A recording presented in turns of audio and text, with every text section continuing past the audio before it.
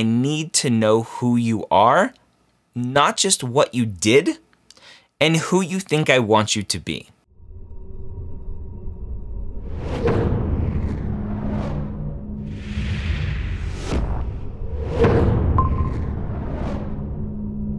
Application Renovation Season 4. I can't believe four. Four seasons. Episode 1. How are you doing today? Doing great. How are you, Ryan? I am amazing. I'm excited to jump into application renovation. Not for what most people watching think. They, they think I enjoy like tearing students apart and they're like, oh my gosh, you were so brutal. Um, but I love doing these because I feel like students make very common mistakes in their applications over and over and over and over again. And it's my mission to like squash those mistakes. So you made some of those mistakes in your application. I'll point them out.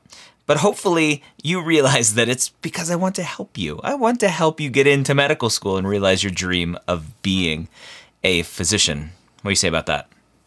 Sounds like a plan. Let's get into it. so so give us the nuts and bolts. How many application cycles and how many interviews so far? So this is my first application cycle. I'm applying essentially direct. So this was between junior year and my senior year. Okay. Um, now we're kind of getting towards the end of this cycle. So so far, I've only gotten one interview request, and that was for um, an in-state school. And I actually went to the interview and also got rejected from that interview as well. So that is the only you know, interview I've gotten. Not not as many rejections yet, but you know we're getting towards the end. So okay. you know so out, outright rejection post interview. What do you think happened during the interview that led to a rejection? How'd you feel walking out of there?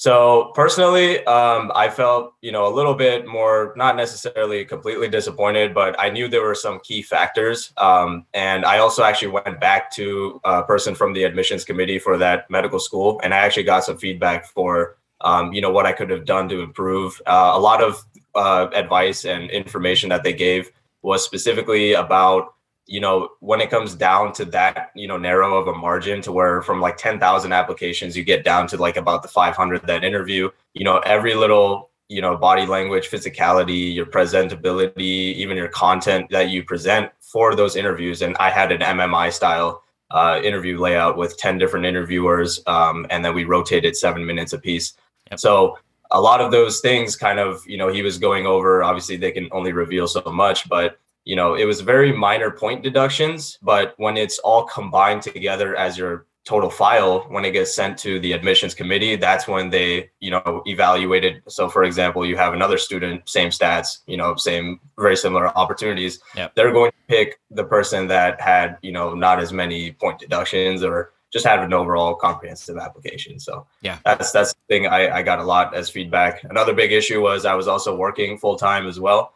and uh, you know when you get the interview call, for me it was a different field of expertise. I was a car salesman, funny enough, and uh, you know as a salesman you have a very distinct uh, attitude and pitch that you have to you know embody. So that definitely I feel like you know looking back on you know that that interview day it definitely kind of leaked in a little bit. And obviously your passion for being a physician really needs to shine. Um, and you know you just have to be a lot more direct and you know be more humble and have an open personality. So definitely mistakes were made but yeah. It's interesting you say that because i'm going to point out in your application a bunch of spots where that salesman mentality, uh, salesperson mentality comes out. So, uh, and, and I'll talk about why I think it's the wrong way to go about it. So, let's go and dive in. You ready to rock and roll? Let's do it. All right. So, taking a look at your application, the first thing I always love to point out is when you applied.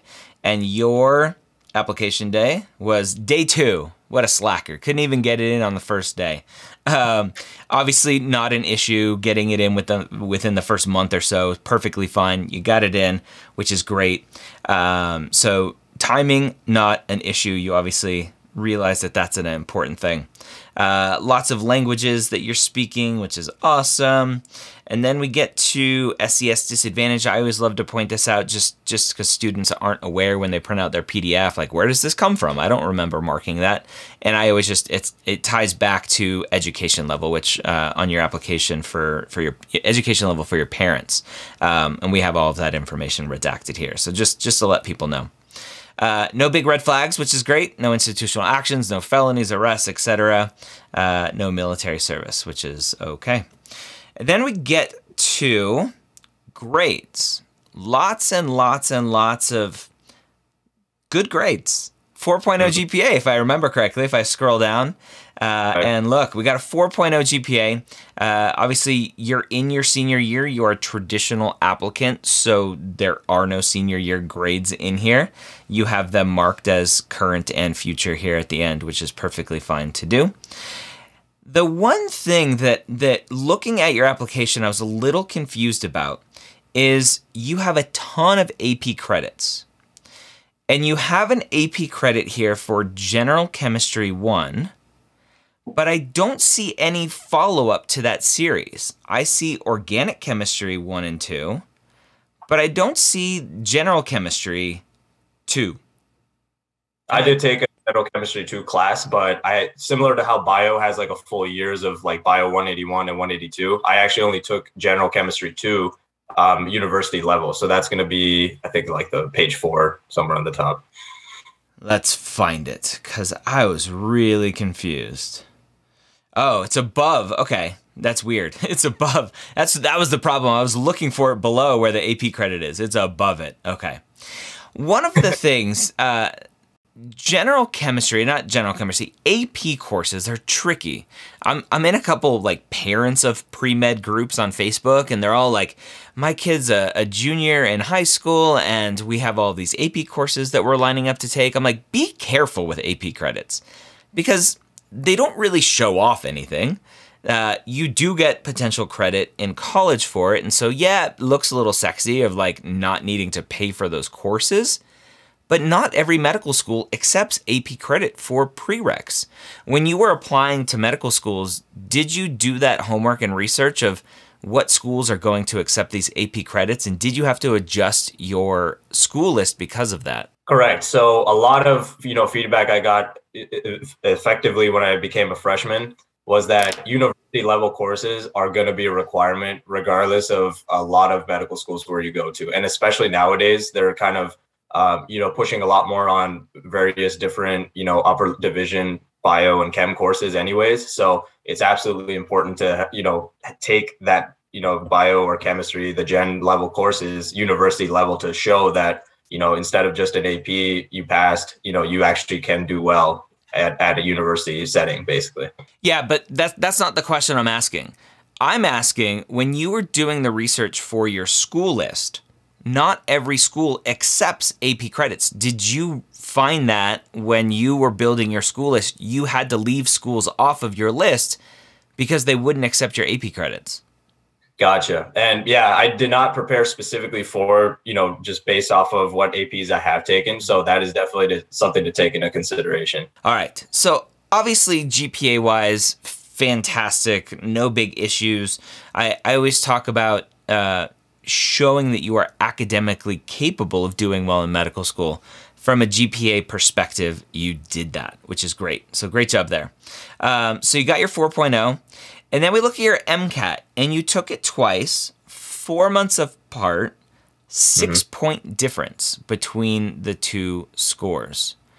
How did you score six point higher only four, uh, yeah, four months apart, less than four months apart? Yeah, so there's kind of a little bit of a backstory or a little bit of context towards why, you know, I decided to take it still within the same cycle. So initially, I was preparing to take it for May, so that's the first uh, exam score you see at the bottom there. And funny enough, during the pandemic, we finally got the first dose of the J and J COVID nineteen vaccine. So I got a very rare opportunity because uh, we'll get into some of the specific, you know, activities portion. But I'm involved with a group called Street Medicine Phoenix, and uh, we were able to actually procure the vaccines through the state department of health and we were actually able to go out and vaccinate so that took place i believe between march and april. So ultimately i only had about a month to study for you know the exam coming in may. Hmm. uh, i made the mistake obviously i should have probably postponed it to the september date. However you know based off of again you know misconceptions and just thinking about studying in a certain manner you know i didn't get the score that i wanted but i knew i knew i could do better. And instead of just kind of giving up and waiting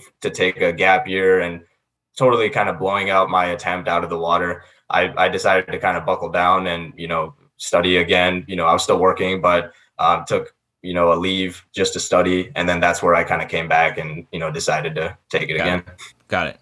Obviously, much better score, much higher, and and a good score. 509. It's two points lower than the average for matriculants, but 509 is a fantastic score that that most schools will not have an issue with. So, uh, MCAT score, GPA, both look good. Okay, so from a stat perspective, I'm like, okay, let's let's see what else is there because the stats are not closing a lot of doors for you. Okay. So then we get to activities, and here is where I think we start to have some potential question marks. You have this first experience here uh, listed as a publication, which I think is a little weird. Uh, this Curtains TV series pilot. Now, this show, I, I don't know what the show is. Uh, I, I remember a, a year or so ago getting lots of emails of like, "Hey, we're we're pitching this new show for pre meds and blah blah blah. Uh, are you interested?" I don't know if that's this show or not.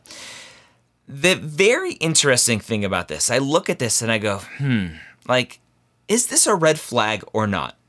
And and just just for everyone watching, like when I give advice on here, I love taking things to the extreme. So not all of this is always my opinion, but I always give the advice of there could be one person out there who's looking at your application and goes, yeah, this is terrible, right? And so I'm just trying to look at things through different lenses as I'm reviewing things.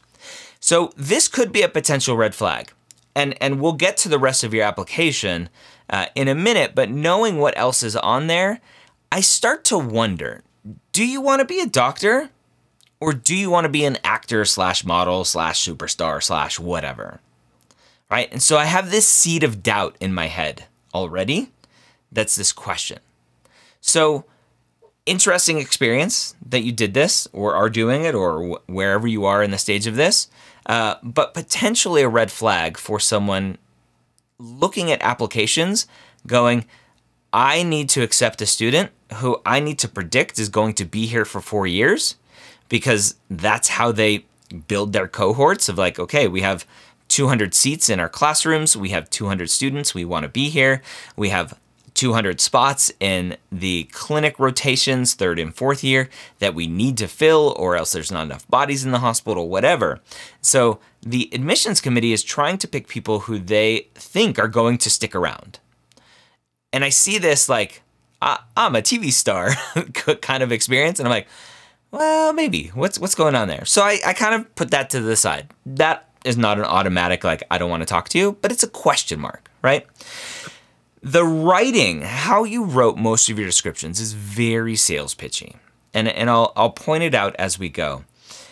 You talked about here, I was able to gain additional experience assisting the production with other media projects like music videos from my video background.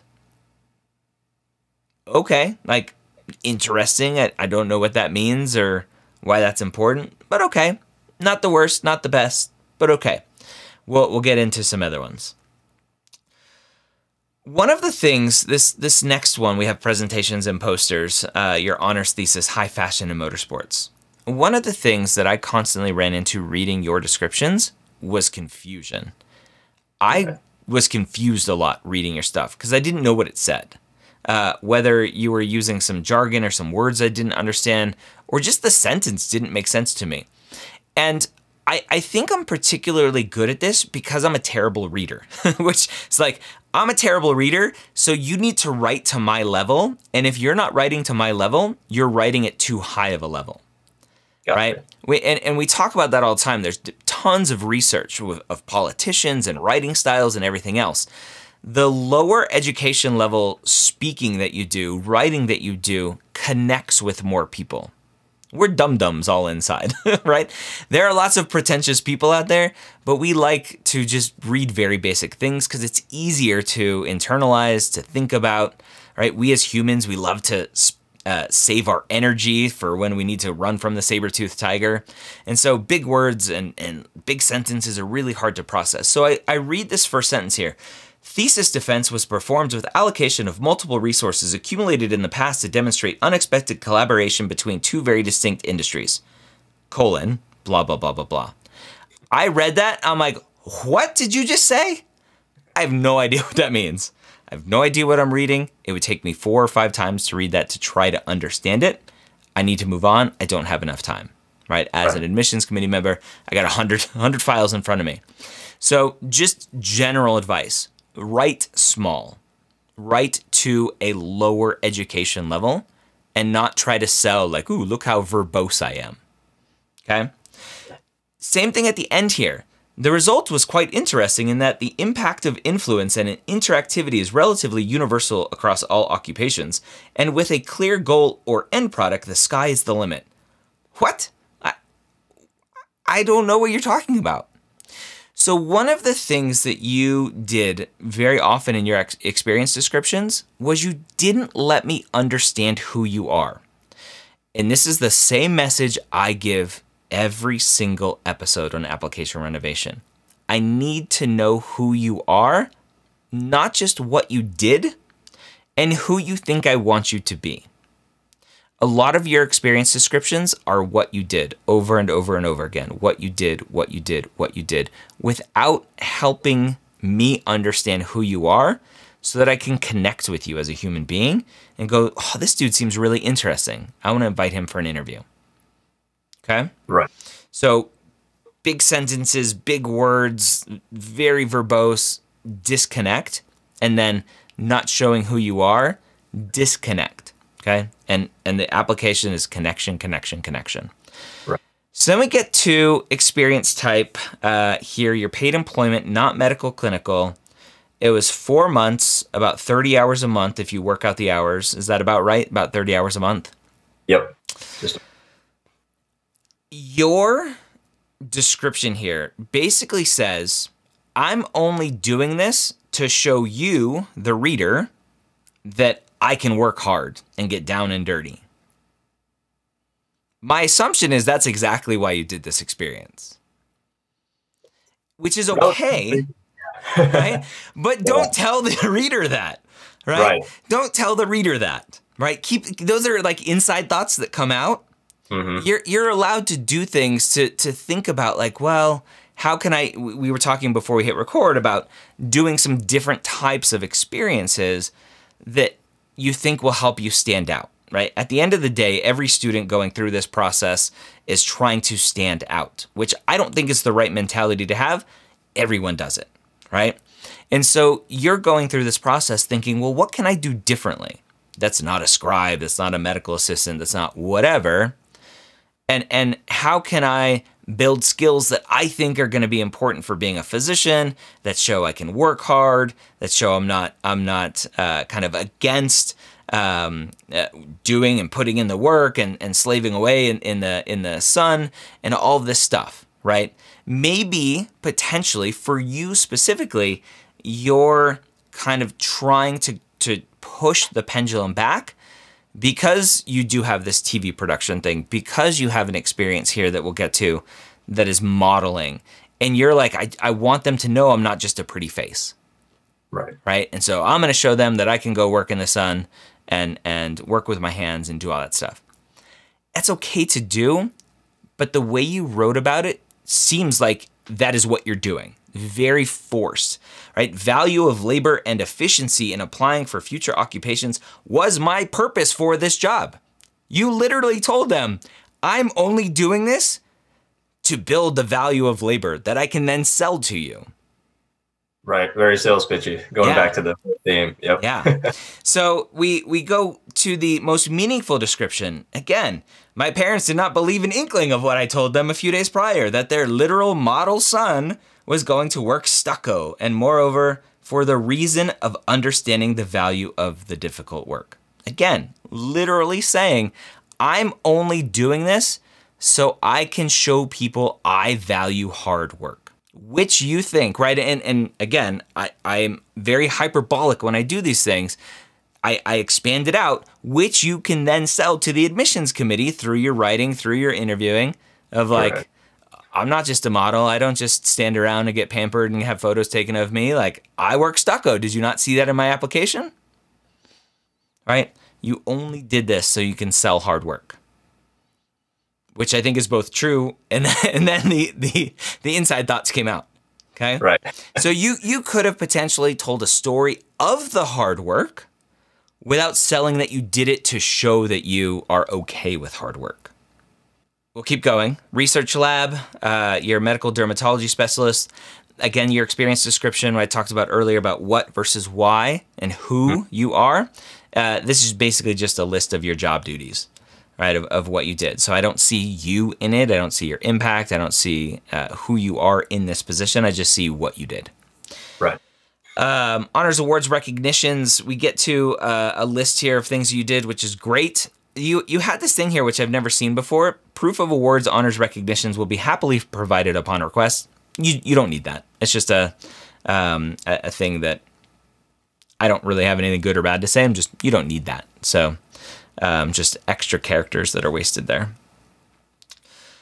And then we get to uh, your medical directive, co-founder and president you talk about peer complaints of rather limited scope of undergraduate pre-health organizations drove me to found the organization to establish an equalizing factor for all driven pre-health students. Again, I get back to like it needs to be easy to read and understand. I don't know what an equalizing factor is, so I read that going it's just sales pitching, right? It's just big words that that are trying to show off here. I don't know what it means. I don't know what you're talking about. So I'm just going to keep reading without really in, in, internalizing it much. What what did you mean by equalizing factor? Basically, a lot of students come from a variety of different backgrounds, and you know, as that organization grew significantly over you know the past year or so, um, it's basically just to make sure that every person, regardless of their background, that is pursuing a path in health, the health related fields, has all the resources necessary. So, kind of setting an equalizing, you know, playing field, I, I would say. But you know, I, I totally agree. The wording on that definitely kind of confuses as far as driving the point home, basically. Got it. Now I understand what you mean by equalizing factor. Okay, got it. Um so the, in, in that discussion that we just had that helps me understand, right, the, the people reviewing your application don't have that benefit. And so you need to, again, I, am using these words, dumb down uh, your writing so that someone looking through the application can quickly understand what's going on, who you are, what you're doing, without needing to go, wow, I need to have a really in depth conversation with this student to try to understand what's going on right? And a lot of students purposefully try to do that thinking, oh, they're going to think I'm just amazing. And during the interview, they'll have the opportunity to ask me these questions. But a lot of times it won't even get to the interview because, like, you lost me already. I need to move on and, and try to go connect with another application. All right, we get to fashion model runway uh, and published. And so here's where the the quote unquote like pejorative pretty face, right? I, don't mean that in a, a bad way, but just um, the the pretty face experience comes in of potentially why you have this stucco experience in there and, and other stuff. So um, your model, great, awesome experience that I'm sure a lot of people would love to talk to you about because it is different, right? There right. there aren't a ton of models going to medical school, uh, and so again instead of helping me try to connect with you as a person of like what it was like to walk down the runway for the first time or what it was like for your parents to see you in a magazine or on the web uh, for the first time emotions behind things instead of allowing me to see through your eyes you just kind of give this experience description you you try to tell a little bit of a story here uh, but I think it goes a little bit off. You, you have this last kind of couple sentences. Witnessing a fellow model being vocally teased by others was like an immense pressure crawling, trying to grasp my tongue to not speak up. So again, very fancy kind of language that took a second to try to understand, grasping my tongue, um, to save my spot in the model lineup. So again, very kind of normal thoughts. Do I say something? Do I not say something? I I'll, I'll get some flack for this. I don't know if you should say these inside thoughts on an application because again, we hope that you're going to speak up no matter what. Right. Right? Because that's just the world we live in. Are you going to speak up when a colleague shows up drunk to go operate? Are you going to uh, are you going to speak up right in the medical field? We have a huge problem of people not speaking up for fear of retribution. We have a whole podcast series and TV show called Doctor Death because people didn't speak up. And so again, these outside or inside thoughts coming out, I would probably just leave it off because what's the point of it other than it's expected? Like, of course, it's normal to have that thought, but I'd probably just leave it off your application so people don't judge it in a way that's like, oh, this person may not say something when they have a, a friend cheating on a test in medical school for fear of kind of disrupting that that friend group. So you do have here in the last sentence, the thought of trauma and negativity cast upon those models propelled my voice to expose the rea reality behind the curtains. And so you have this sentence here, and then I'm like, well, what happened? What's the follow up? Tell, tell me what, what was the result? I'm left with lots of questions here. So could have been told in a little bit of a different way to show the impact that you were able to have on, on these people, protecting them or whatever. All right. Help me see you you you have your street medicine phoenix you talked about it a little bit earlier this very interesting uh, activity that you did it was over um, a couple years here uh, that you have and, and a lot of your experiences just just to point out they ended on 621 is it because it truly ended or it's because well that's when you're submitting your application so that's when the end date's supposed to be Correct. And I, I was kind of confused at that specific, you know, how to frame it so that it's still ongoing. However, you know, for the time of submission, I guess, you know, for me at the time, I thought it was better to just cap it at that specific, you know, time of when I sent it out to all the medical schools. Yeah. And so what it looks like is I submitted my application. Like I'm done with everything. I'm gonna go. I'm gonna go live in paradise and go be a model TV person.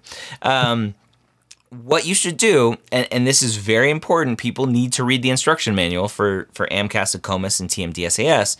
AACOMA, or AMCAS very specifically says project out the end date to the start date of medical school. So for you applying here in 2021 to start medical school in 2022, the things that you were going to continue to do, expected to continue to do. And, and obviously, plans change and things stop or whatever. But the things that you assumed you were going to continue to do, the end date should be July or August of 2023, 2022. Gotcha. 2022, yeah. So uh, that helps the school understand, oh, this is something you're going to continue to do. And then you can also project out the hours as well.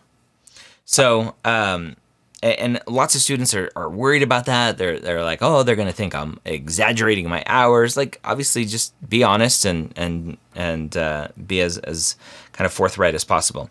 So this was about a 20 hour a week project. Is that about right? Yeah, for okay. about since I was a sophomore. Yeah. Okay. So very busy thing. And and the one question I had here was is this clinical? Were you administering vaccines and, and doing things there or were you more kind of an organizer of everything? So it was kind of a little bit of both. Initially, I started off as just a patient navigator, so scribe work, and then it okay. translated when I became one of the co-leads to doing blood pressures and also, you know, checking blood sugars as well as you know providing uh, different medical services alongside the medical students. So that's that's where it kind of you know the the there's like a gray area yeah. Know, in between but yeah and, and, that's okay that there's a gray area because a, a, large percentage of, of what doctors do day in and day out is admin work and, and, and stuff that isn't quote unquote clinical like like we define it. And so uh, again just from a, an activity description standpoint being as clear as possible what is it that you're doing to help me understand so i don't have to second guess like is this clinical? Is this not? Um, and again, the, the sales pitch stuff here. All right, uh, in the most meaningful remarks section, second to last sentence, you say, above all else, my recall of networking interactions in the fashion and motorsports industries provided the persuasion necessary to vaccinate. So you're basically like, I'm a persuasive guy because I've learned these skills from these other industries. Which again, the sales pitch, like, I don't need to know that you're persuasive, that you're going to be able to convince people to take their vaccines when you're a physician, whatever. I want to know who you are, not who you think I want you to be. Right. Okay. And and to me, that alone is a dead application versus a good application. I just want to connect with you. Um, we get into research lab preventing falls in Parkinson's, Mayo breast cancer. So, kind of two things here, which is perfectly fine to combine some things. Uh, the last sentence looked like you ran out of space, and you're like, I'm just going to put uh, this non O for non obese. Uh, you have training. Uh, HIIT training followed a similar apparatus as well with the post exercise hypotension study of obese versus non O. I'm assuming non obese. And I, I, I was like, why are we saying that? Because that's that's in the next experience, at least how it's printed here on the PDF. Why are you talking about that here? Okay, so again, just a, a, a description that's mostly about what happened and what the study was about, and not necessarily who you are in this study. Same thing with the next one as well. Uh, we get hobbies, tailoring. I love hobbies on an application. I despise when students try to sell me skills that they have from their hobbies that are going to make them good physicians. I just want to know who you are, right? Whether it's running marathons, fishing, whatever it is. And so you have this tailoring, which is really interesting. And and you sold, right? Mechanical knowledge allowed me to take apart the sewing machine and retime the gears when there were issues with the spool. And I gained the technique of handling threads from thick to very fine. You're like, haha. I know that doctors use sutures, which are kind of like threads. Uh, and so I'm going to show them that I basically got this. The practice has been certainly applicable to suturing and brings a perception of controlled discipline in, hand- in, in handling any item. Sales pitch, right? Mm-hmm. I got you. I got you. I know how to handle a suture. That is not what gets students into medical school. Your ability to suture, your fine motor skills, your whatever does not get people into medical school. Okay? Connecting with another human being, being yourself. If you would have talked about like the best, finest garment that you made and the colors involved and how many stitches were in it and why you made it. Like, I would have loved to connect with that. But instead, I'm reading, uh, hey, doc, I just want to let you know that I know how to handle sutures. You right. see, there's a difference there, right? Again, I'm very hyperbolic when I talk like this, but there's a big difference there. Got it. All right. Uh, community outreach leader, again, just more duties, no impact uh, from a description.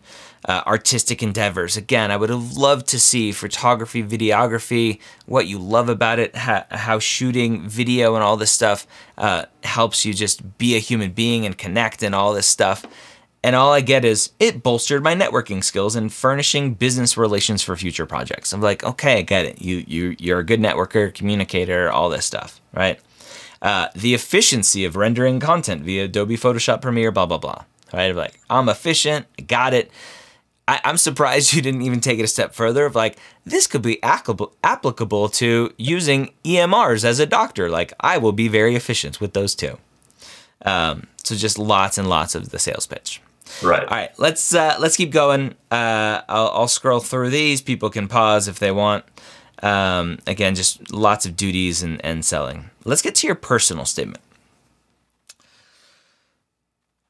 I, I wrote a, a statement here that says never start a personal statement like this of my true passion for medicine, or I knew I've wanted to be a doctor since, or I've always loved whatever, right? As soon as I read something like that, I know that I'm in for a doozy of a personal statement that probably isn't going to be very interesting to read. Remember, these are human beings reading these personal statements, scanning through as much as possible, as quickly as possible to kind of go to the next and next and next and next. And and it's just not a very interesting way to start a story, which is what the personal statement is, a story of why you want to be a doctor.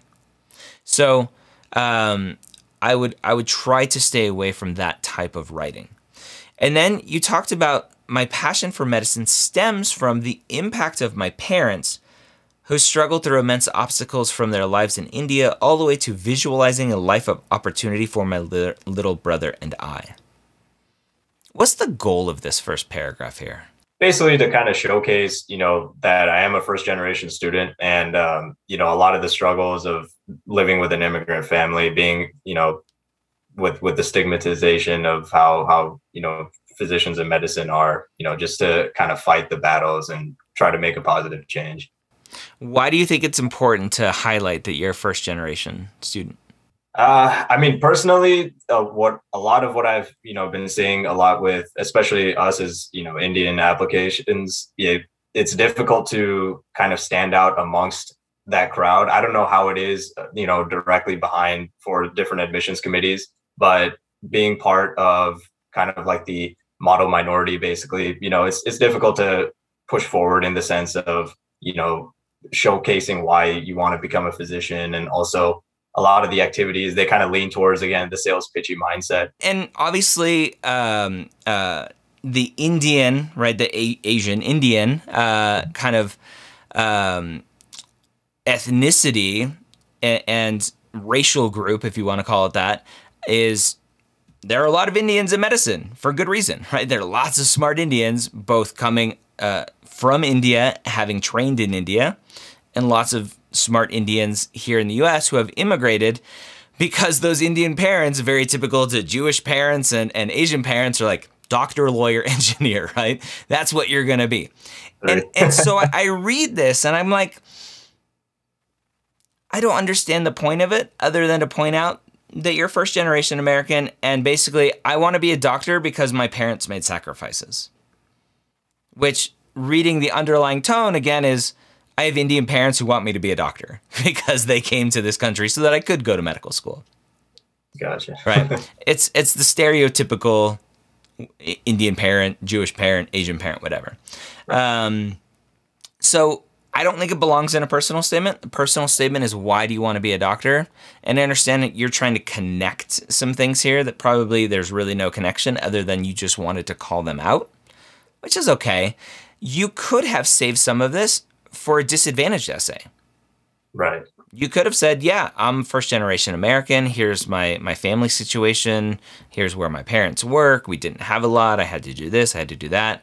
So that could have been a great disadvantaged essay to give context. I, I love now to call the disadvantaged essay the context essay, which is what you're trying to do here in this paragraph is give context. Right. Okay.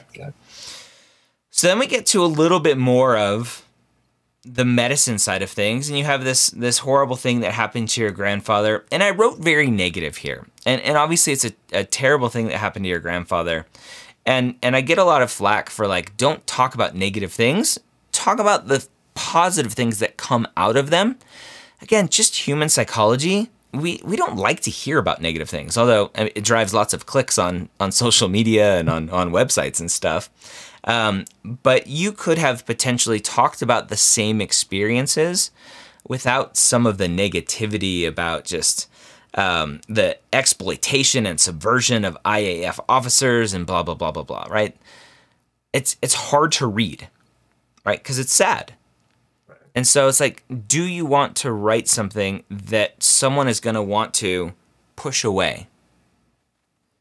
Because it feels bad for them. So just just an, an observation there. Um, again, the negativity, right? If the attending physicians paid even a little more attention through active listening, they very well might have saved numerous additional lives at the time. Right? It's a very hyperbolic kind of statement of like, just do your damn job. And if I say this, I'm letting you know that I'll do my damn job. Because I'm a good listener, because I wrote it in my activity description above that I built my listening skills through all of my networking and everything else. Right? The the connections are starting to be made. And this is how students build their application of like, all right, I'm gonna sell networking and, and communication and this and that. And then I'm gonna hit them in the personal statement with bad listening and bad communication. And they're gonna see that I'm a good communicator they should accept me, right? So we have we have some stuff here that again just doesn't go to why do you want to be a physician? Show me these experiences. And obviously, what happened to your father, very impactful thing, or your grandfather, very impactful thing that leads to that, right? You then go into this COVID 19 pandemic on the subcontinent of, of India, right? The southeast kind of subcontinent there. Southeastern? Yeah, Asia.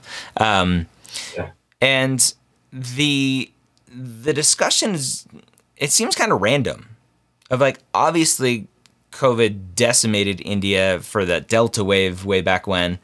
Um, but it seems very interesting to throw this in here with not a lot of context other than to do this kind of Phoenix street medicine thing that you were able to do, which you've already talked about in your activity description, but you basically rehash it here in your personal statement. And so it's, uh, in my mind, wasted space, wasted discussion because you already talked about this above. So I'm not sure why it's here in your personal statement because it's not adding to why do you want to be a doctor. It's just telling me something you already told me already. Right. Okay. Um, again, some negativity here. Our world is a very peculiar place. Okay. The successes and accomplishments of individuals are highly resonant and praised, but the countless hours of errors, failures, and mistakes are out of sight. What's the goal of that sentence there?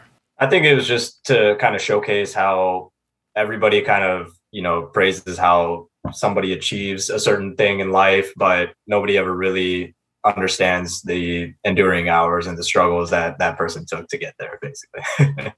Do you think that's true? I'm not sure, just because unless it's actually actively spoken that you did struggle, or like if people actually see that you did go through, you know, basically all these trials and errors to get to that point, um, then it is sort of one of those like media type things of if, if it's not, you know, spoken of, then people really don't focus too much on it. Okay. But, so you use this to then talk about this organization that you started to help pre-meds who I'm assuming you're connecting the the errors, failures, and mistakes of these pre-health students and how you came in and and saved the day with this organization to help them. But again, you talked about that in your activity description above. Mm-hmm. doesn't need to be in your personal statement because it's not helping me understand why do you want to be a physician other than you created this organization to help a bunch of people, which is great. But I don't need to hear about it here. Right. Wasted space. Wasted space. Um, and, and, so you you have this uh, to fulfill my dharma, and I'm like, okay, there's a word I don't know, right? So again, uh, jargon or specific language from your culture or or wherever, um, be careful using that because mm-hmm. I'm gonna have to go Google that. What does dharma mean? I think it's like goodwill, kind of uh, karma, dharma, karma. Um, um, so uh, yeah, be be careful with words like that. So I get to the end, and at the end of a personal statement, I ask myself, do I understand why do you want to be a physician? And I get to the end of yours, and I don't see anywhere in there that really talks about why you want to be a physician, other than that very opening sentence about how you were kind of driven to medicine because your parents sacrificed a bunch. Which isn't a logical connection. Right.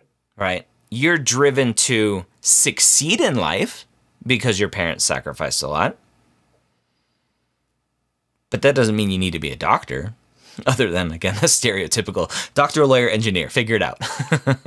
so right. I, get, I, get, to the end and I'm like, all right, I, I, don't know why you want to be a doctor. You do have some clinical experience that you could potentially lean on um, to write about we look at your school list, and for the most part, it's great. Lots of uh, private schools, out of state private schools, the, the couple public schools where you are at. Um, and so, nothing terrible about your school list.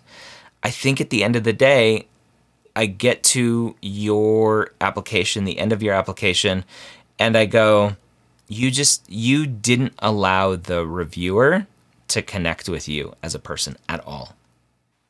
Right great. Like I just I go back to the tailoring uh, activity. I would have loved to visualize some beautiful, colorful garment that you made right? I've been to an Indian wedding. I've, I've worn, I forget the, the, the, the name of the clothes. I, I, the clothes are just magical, right? To be able to picture what you're making would have been fantastic. And I would have been, oh, this is so awesome. I want to talk to this person. So then we get to, uh, I just want to take a look at one of your secondaries here. Um, I, I've been looking at secondaries a lot lately. And it says if you were to describe the University of Arizona College of Medicine Phoenix to someone else, what would you share with them? And so the first kind of half of the the answer, you kind of answered the question. And then you basically are like, okay, I'm done talking about what you want to talk about. I'm going to talk about what I want to talk about. And this is the biggest mistake that students make with secondaries is not answering the question and forcing in your own agenda. Right? You were like, I would also share my personal story with the blah blah blah blah blah. Okay. So right. answer the question, don't fit in your own agenda. Again, what achievement are you most proud of in your life? What aspects of this achievement will you bring to our medical school? And your first sentence is basically like, I'm not going to answer your question directly. I'm going to tell you something else. You're like, I am particularly proud of my constant, uh, constantly developing perspective above all else. Is it achievement? Not in the conventional sense. I love that. You're like, just, I understand I'm not answering your question, but I'm going to tell you what I want. You'd be a very good politician. That's what they do, right? right. so, again, just very, very, very common mistake of not answering the question in a secondary will frustrate a reviewer to no end. Be like, just answer the question, please. Like, I just want to see what you're going to say. Lots of discussion around application. Again, biggest mistake probably the same on every episode is just not allowing that connection because you're you're trying to force this narrative of like I can handle sutures, I can communicate, I can convince, I can whatever else it is. Like everything I'm doing, I'm going to show you how it's going to help me as a physician. Right. Questions as far as you know now that i look back on the original primary statements that i made like i i knew there was so much sort of like the sales pitchiness that is very kind of standard stereotypical of like what i think us as students need to think that oh you know this is what we need to do to get in. But realistically after going through you know the difficulties of like you know secondaries that single interview honestly that was a big eye-opening experience um, and just being direct. So just cutting out the fluff and going straight to answering and diving in basically yeah. why you did the things you need to do so and, and in a weird way it like made it more profound of like why i want to pursue a career in medicine and so you know throughout the year that's where i kind of cut a lot of the the other you know extracurriculars if you if you want to call that but you know that it really drove my passion for medicine that much more. good and, and ultimately it, it'll drive the passion because you're doing it for yourself and not right. how can i write about this how can i sell it how can i whatever. Uh, but it should everything should get easier because it's your truth, right? And not some forced narrative that you're trying to pitch. Great first episode of application renovation here on season four. Thanks for coming on, being vulnerable, and, and let, uh, letting me kind of pick apart your application and highlight some things that can be improved. Awesome. Yeah. And I feel like the more open we are or receptive to change, I think that's ultimately what drives success. And, you know, for us, going into be physicians, really, you know, making as great of an impact as possible. So I uh, thank you so much.